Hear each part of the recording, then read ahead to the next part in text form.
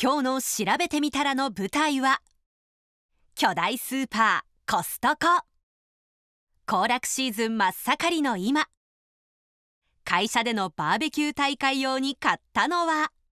肉っぽい肉買ってこいって言われた。3キロオーバーの巨大なスペアリブ。娘に頼まれたという女性はパンを1000個以上爆買い。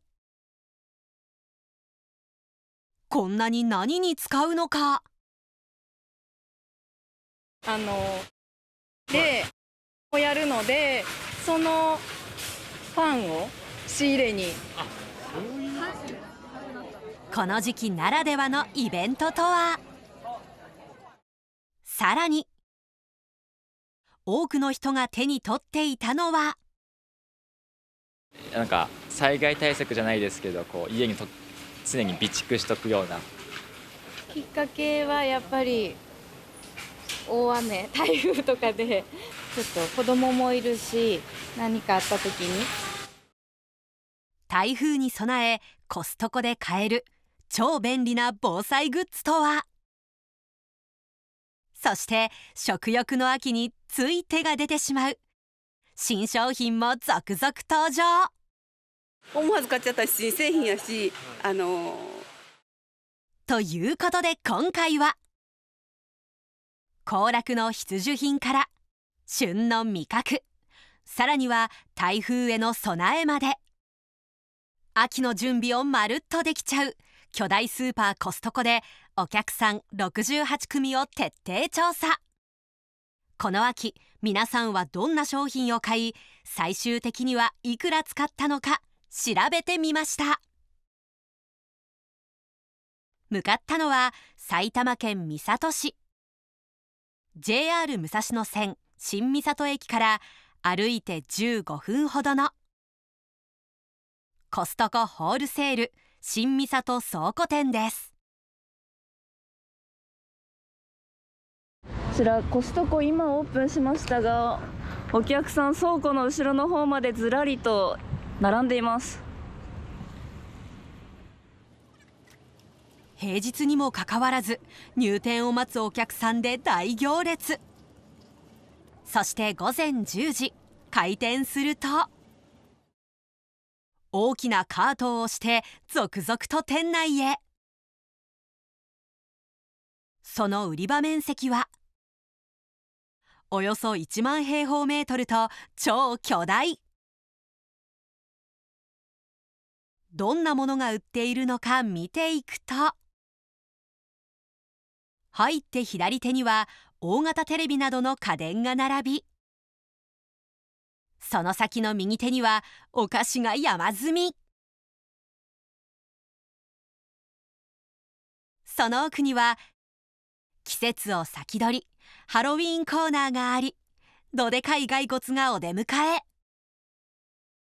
ジャイアントグラウンドブレイカー3万9980円。さらに。施設のコーナーの先大きなテントが見えます。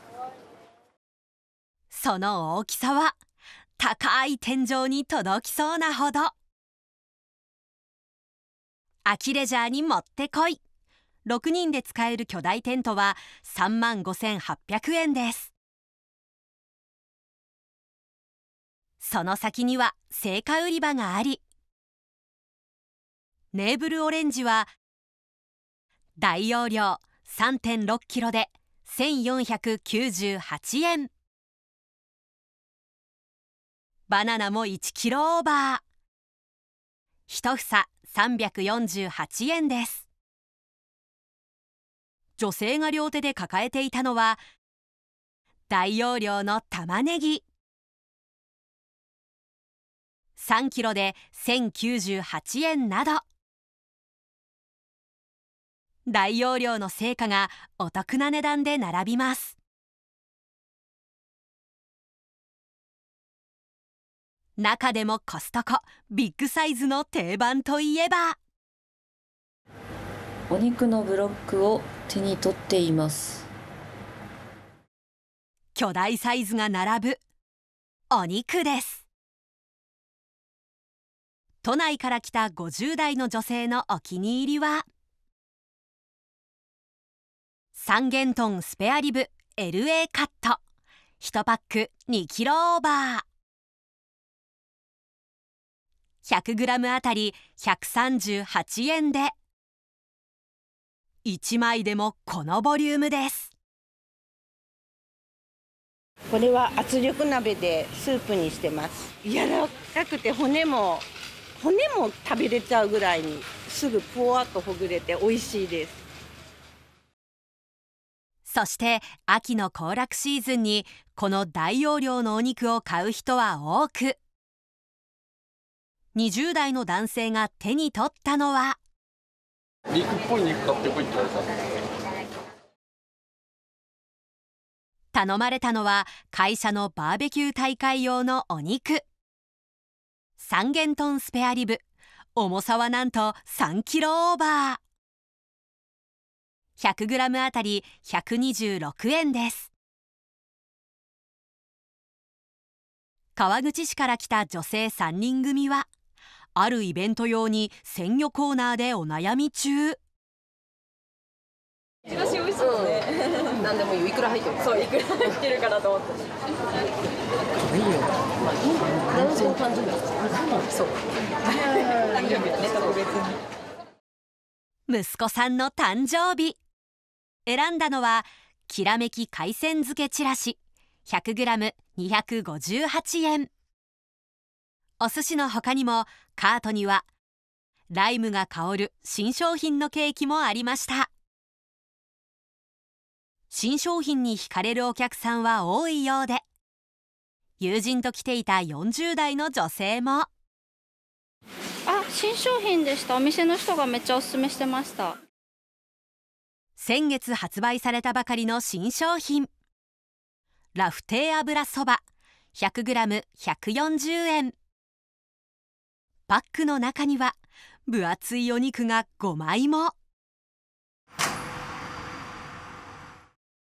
調理方法は電子レンジでおよそ6分温めるだけ。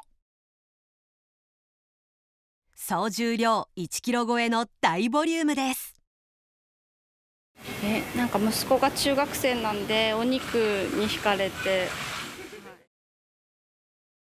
70代の女性が気になった新商品は？なんでしょうねこれ。ターティスベジタブルゴートチーズですね。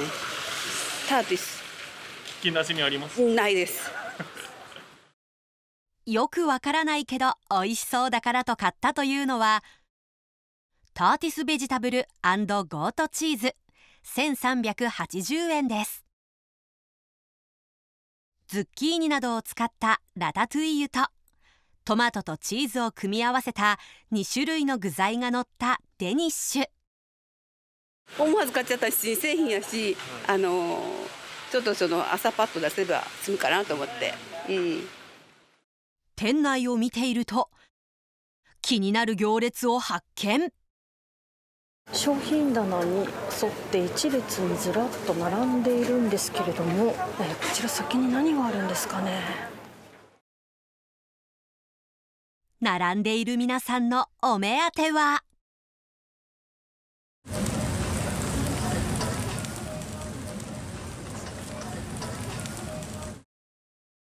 試食コーナーです。食べていたのは今が旬の鮭。大きな北海道産の天然生秋鮭が半身で売られています。焼きたてを試食した女性は？美味しいです。炊き込みご飯とかに入れても美味しいかも。50代の女性のおすすめも。今が旬の。生すじこがなんかもうそろそろ出るかなと思ってこちらも北海道産の天然秋鮭の生すじこです。これを自分でほぐしてつやつや輝くイクラの醤油漬けにするそうで。バラバラになったらあの味だしっていうかそれにつけてスーパーで売ってるのは冷凍されてるじゃないですか。もう本当にこのぐらいですごいお値段 結構するんでだから安い。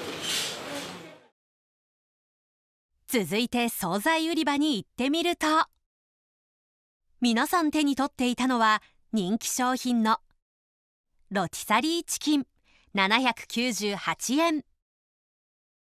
鶏を贅沢に丸ごと1羽焼いたコストコの定番商品です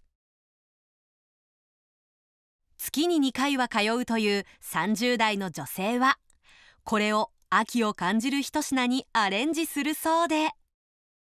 と翌日に炊き込みご飯とかそういうリメイクみたいな余るんで全部ほぐして、まあ、ちょっと適当に醤油とか鶏ガラとか入れて。自分流に旬の味覚を楽しむ人は多くいて県内から毎週通う60代の女性のおすすめは？今日今日この餅しゃもですね。もちあちょっとこれって、めちゃくちゃ入ってますめちゃくちゃ入ってます。小餅から太ししゃも。1880円です。1パックにどれくらい入っているのかスタッフが数えてみると大ぶりのししゃもが出てくる出てくる。その数なんと50匹。食欲の秋とはいえこの量となると塩焼きだけではなく。なんかこう照り焼きとかにしてもいいと思うし照り照り焼き？あのでそれでこうちょっと海苔とか巻いて一緒に、うん、食べると美味しい。さらに店内を見ていると今の時期コストコでよく見かける光景が。こちらの女性重そうにカートに水を積み込んでいます。台風シーズンを迎えた今。やっておきたい。いざという時の備えです。都内から来た50代の女性が3ケースも買っていたのはナチュラルミネラルウォーター。928円。500ml の水が35本セットになっていて1本あたりおよそ26円と割安です。小さいとかそういうのがあった時に水あった方がいいかなと思って一応ストックで。コストコでは乾電池も大容量20本パックで1398円です。25年通うコストコマスター。40代女性の備えは。ガス。ガスとあとポータブルトイレ。災害の時に使うかなっていうのとあとキャンプとかでも使うので。ポータブルトイレパック。1768円さらに。カセットガス12本入り2498円。1本あたりおよそ208円とバラで買うよりも割安です。きっかけはやっぱり大雨台風とかでちょっと子供もいるし何かあった時にこうした秋の必需品から旬の味覚さらに新商品などが揃う中皆さんが口にしていたのがほぼないんですよ予定が。ほぼ予定がない。ぐらいですね。来ると買っちゃいますね。もう興奮しちゃって。興奮してついつい買っちゃいましたそこでこんな調査をしてみました皆さん今回の買い物でいくら使いました？まずは全身ペアルックのこちらの2人。新婚ほやほや。30代の夫婦が買ったのは？あとはお料理できないからパスタパスタ茹でることはできるからこれ混ぜればなんとかお腹は空かない。で済むから。キューピーあえるパスタソース。1258円。3種類のソースが12食分。さらに夫が好きだという炭酸飲料も30本まとめ買いです。